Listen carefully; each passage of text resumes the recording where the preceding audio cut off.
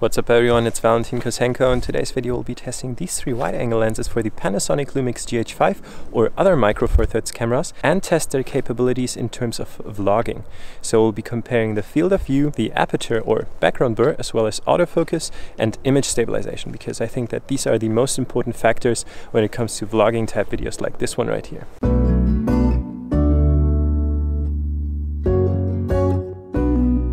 So I'll be shooting everything on the Panasonic Lumix GH5 right here in 4K 10-bit 422 at 24 frames per second. And there's one small downside to all of this because I currently don't have any ND filters for all the lenses. So you might not see any natural motion blur and see that very weird stuttering effect. But to make the comparison as comparable as possible, I thought that I would do it this way. So yeah, enjoy this video. Okay, so right now I am shooting with the Panasonic Leica 10 to 25mm at 10mm with f1.7 and as you can see I get some very nice background separation here due to that f1.7 aperture and one great thing about this lens is the fact that the exposure does not change when you zoom in due to that constant f1.7 aperture. The other two lenses have f2.8 to 4 which means that as soon as you zoom in your exposure gets a little bit darker which is not the best for video so this lens definitely wins in that category and it also wins in terms of background separation due to that large wide open aperture. I actually really think that the look you get with this lens is kind of nice because as you can see the background is very blurred right here and let me quickly check whether I'm in focus again. If you just use your thumb like I do right here, you can easily autofocus once like that and your focus will not wobble or shift or hunt in the background, which is very, very nice. One thing to note here though is that this lens is actually the heaviest of the three and it weighs around 690 grams, I think. The other two are around 300 grams, so a lot lighter, but it offers the most background separation in my opinion, and it is also the best in terms of low light performance. So now we'll make a quick walking test so that you guys can see how the IBIS inside of the camera actually performs with this lens, because this lens is not stabilized. So you're only getting the IBIS inside of the GH5, and there's no dual IS right here. So it shouldn't perform as good as the 12 to 60 f2.824, which does have image stabilization inside of the lens, so it works together with the GH5, but let's see how this one will perform. So I'll make a quick walking test again. And yeah, what do you think about the field of view? I actually think that it's enough as long as you uh, push your hand out like this so that you can fill the frame and don't cut your head like this or like that. But you always have to make sure if you use manual focus that you uh, stay in the focus plane because f1.7 is pretty shallow compared to f2.8 with the other two lenses. Uh, so yeah, but I really dig this look and if you want a full frame experience inside of a Micro Four Thirds camera, this is probably as close as you can get. I mean, you can also get the 12mm f1.4, which should in theory offer even shallower depth of field, but I mean, it does not have any zoom, so this one is a lot more versatile. So now let's switch to autofocus and see how the autofocus on this lens performs. Okay, so now we're running with autofocus on the GH5 here, and we're still using the 10 to 25mm f1.7, and I must say that I am not a big fan of the autofocus of the GH5 because it is still very unpredictable even after all of these updates. But take a look for yourself here. I'll try to stay in the focus plane as much as possible, but we'll make another test in just a second where I point the camera uh, towards something else and try and see how long it takes before it focuses back on me.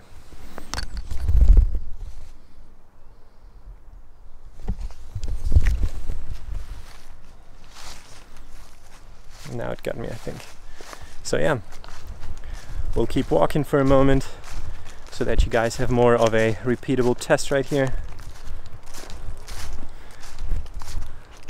One thing that I really gotta admit is that this lens is quite heavy for longer vlogging and right now my left hand is actually shaking quite a lot so we're also testing the IBIS inside of the GH5 right now and uh, if I take my right hand right here which is a lot stronger than the camera shouldn't be shaking as much. But this is one thing you have to consider when you choose this lens for vlogging because it is more than double the weight of the other two lenses. If you have weak arms like me right here, then you might struggle vlogging with this lens, but it works. It definitely works and the look you get is very, very nice indeed.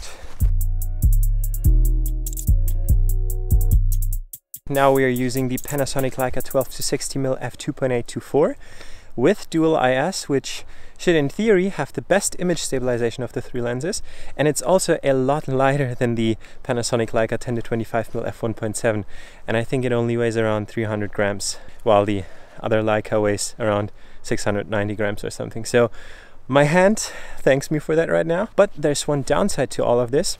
It's the aperture, which is only f2.8, and also the 12 millimeters, because as you can see, the field of view is not as wide as with the other one. And this might be a problem when it comes to vlogging, because let me show you right here. If I uh, stretch my arm as far out as I can, then I fit inside of the frame, but as soon as your arm gets tired from the weight, you might come closer and if I come closer like this the focus plane will of course change and I won't be in the focus any longer.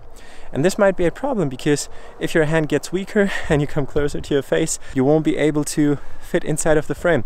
As you can see my head is actually cut and only if I stretch my arm out like this I fit inside of the frame so this one is actually quite hard to hold as well, although the weight is a lot less because it's quite hard to fit inside of the frame. But it honestly depends on your arms because I am not vlogging very often, so my muscles are not very trained for that. But you can definitely manage. And the field of view is acceptable in my opinion. And also, this lens is another benefit because you have the longest range in terms of zooming. So 12 to 60 mil is pretty good for a wide angle, but also for shots where you cannot come any closer to a subject. So this is definitely a very great versatile small little lens. And now I've switched to the autofocus and I'll do another walking test with this lens. And as I've said before, this one should be the best in terms of image stabilization. But make a picture for yourself here. What do you guys think? I'm still walking on the same path as I did with the other lens, so it should be pretty comparable.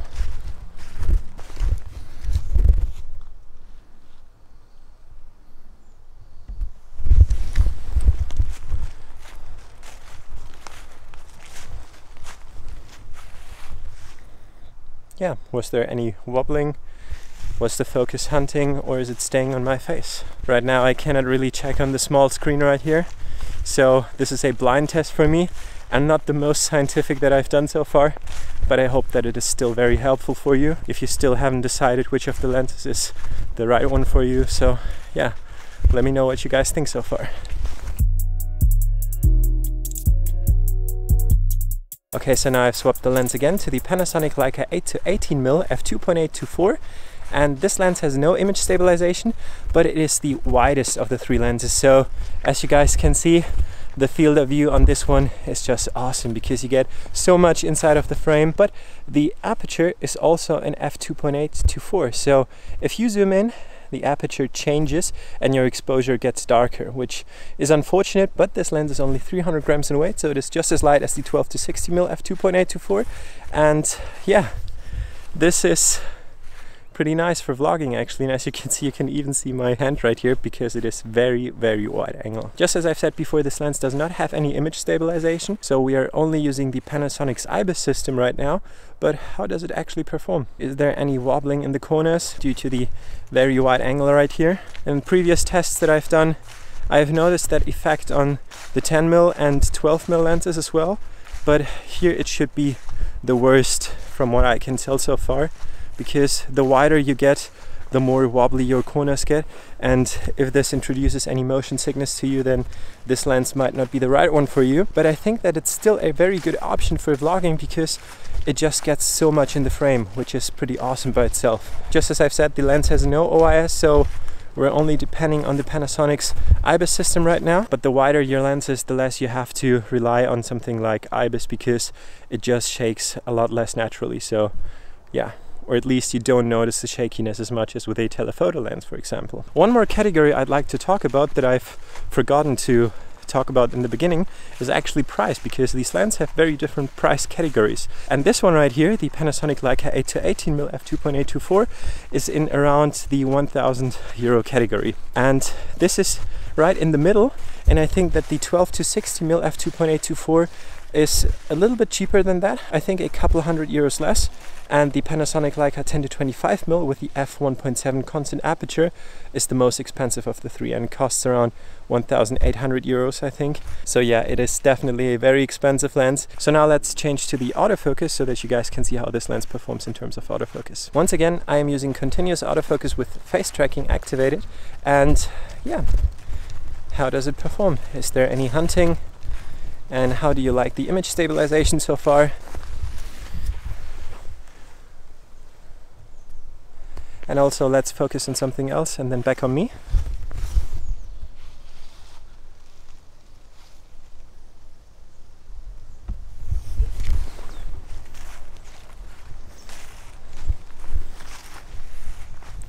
While testing these three lenses, I kind of noticed that this one right here is, I don't know, it feels the lightest and also I don't have to focus as much on the field of view because so much uh, fits in the frame, which is kind of awesome because with the other lenses you have to uh, be aware of the fact that if you come closer then uh, you might be too close to the lens and your head will be cut like that. But with this one I can hold it pretty close so I don't have to put so much energy into my arm right here and it still works, you know? And then the IBIS system, of course, does not have to compensate so much due to the wide angle and because it's so easy to hold compared to the Leica 10 to 25 mm f1.7. But that's it for this video. If you still have any further questions, then please let me know in the comments down below. Other than that, I really hope you enjoyed watching that video and I hope to see you in the next one.